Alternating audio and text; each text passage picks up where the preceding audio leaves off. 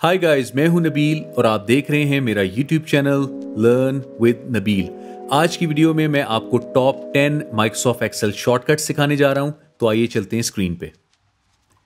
जी guys सबसे पहला shortcut जो हम करने जा रहे हैं वो है ऑल्ट प्लस एफ़ टू और ये है रिबन शॉर्टकट यानी कि जितने भी रिबन हैं होम से लेके हेल्प तक, उन सब के अंदर जितनी भी फॉर्मेटिंग की ऑप्शन हैं, उन सब के शॉर्टकट्स हमें मिल जाते हैं जब हम Alt plus F two press करते हैं तो आइए करके देखते हैं। Alt plus F two press किया तो ये देखें, सारे के सारे रिबन्स पे एक एक शॉर्टकट की हमें मिल गई है। फॉर एग्ज़ाम्पल हम इंसर्ट में जाना चाहते हैं तो हम एन प्रेस करेंगे।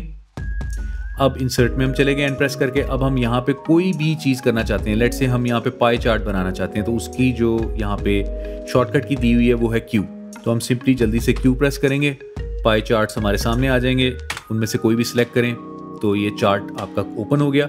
ऑब्वियसली मैंने यहाँ पे कुछ सिलेक्ट नहीं किया हुआ था तो इसलिए चार्ट खाली है।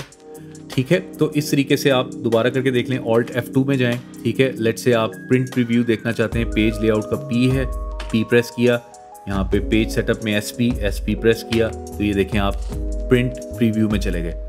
जी गाइस तो ये है ऑल्ट प्लस एफ़ टू जिसमें आप जाके आराम से कोई भी फॉर्मेटिंग बड़ी स्पीड से कर सकते हैं। सेकंड हमारा जो शॉर्टकट है, वो है कंट्रोल प्लस वन ये आपके सेलेक्टेड सेल पे फॉर्मेटिंग करता है। फॉर एग्जांपल मैंने इस सेल को सिलेक्ट किया कंट्रोल और वन प्रेस किया तो इस सेल की फॉर्मेटिंग के अंदर ये चला गया। अब लेट से मैं यहाँ पे करेंसी लाना चाहता हूँ तो मैं करेंसी की फॉर्मेटिंग में जाऊँगा तो ओके करूँगा, ये देखें। हमारा वो जो नंबर था, वो करेंसी की फॉर्म में आ गया है। तो कंट्रोल प्लस वन के अलावा हम नॉर्मली राइट क्लिक करके नंबर फॉर्मेट में यहाँ से भी जा सकते हैं, लेकिन ये एक शॉर्टकट है जो कि आपको ज़्यादा जल्दी किसी भी सिलेक्टेड सेल में फॉर्मेटिंग करवा देगा। थर्ड हमारा शॉर्टकट है control plus semicolon today's date के लिए, यानी कि आज जो भी डेट है, अगर आप वो लिखना चाहते हैं तो कंट्रोल प्लस सेमी कॉलन लिखें तो आपकी डेट आपके सामने आ जाएगी। इस केस में हमारी आज की डेट है twenty third October 2021 next formula है हमारा कंट्रोल प्लस F1 का, जो कि मिनिमाइज या मैक्सिमाइज करने के लिए यूज़ होता है रिबन सेक्शन ये जो आपका रिबन सेक्शन है, अगर आप इसको मिनिमाइज करना चाहते हैं तो आप कंट्रोल प्लस F1 प्रेस करें तो ये आपका मिनिमाइज हो गया। कंट्रोल प्लस F1 दोबारा प्रेस करेंगे तो ये मैक्सिमाइज हो जाएगा।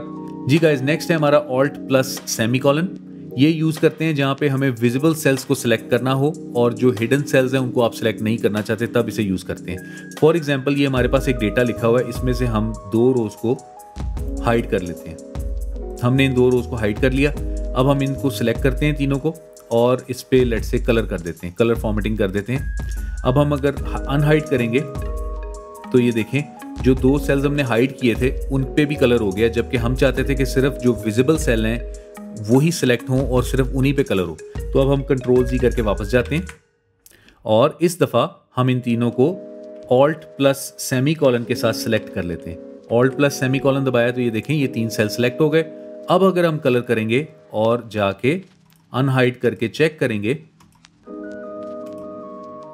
अनहाइड करके चेक करेंगे तो ये देखें, हमारे ये जो दो सेल्स थे, जो हाइड थे, ये दोनों पे कलर नहीं हुआ, इन दोनों पे कलर नहीं हुआ क्योंकि हमने सिर्फ़ इन तीन सेल्स को सिलेक्ट किया था।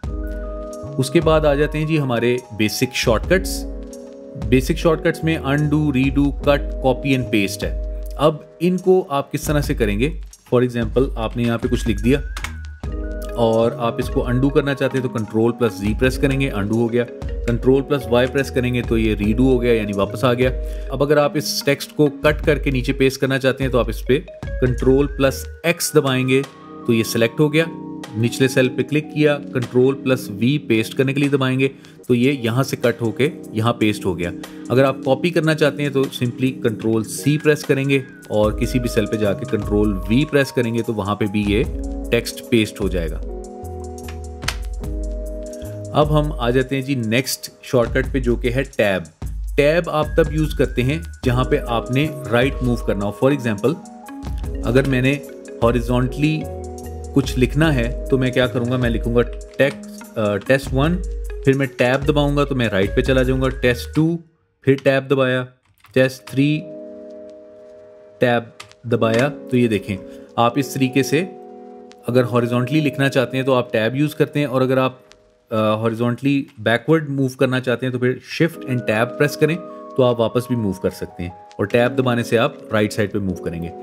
और अब हमारे आखिरी दो शॉर्टकट्स हैं, उनका नाम है control page up and control page down ये यूज़ होते हैं जहाँ पे आपने डाटा सेट में टॉप या बॉटम पे पहुँचना हो। जिस तरह फॉर एग्जांपल अभी हम बॉटम पे हैं अपने डाटा सेट के तो अगर हम control and page up press करेंगे तो हम अपने डाटा सेट के टॉप पे आ जाएँगे। और अगर हम टॉप से बॉटम पे जाना चाहें तो control plus page down press करेंगे तो हम अपने डाटा सेट की बॉटम पे आ जाएँगे। ये थे टॉप टेन एक्सेल शॉर्टकट्स उम्मीद है कि आपको ये पसंद आए होंगे। वीडियो को लाइक कर लें और चैनल को सब्सक्राइब कर लें। मिलते हैं नेक्स्ट लेक्चर में। टेक केयर अल्लाह हाफिज।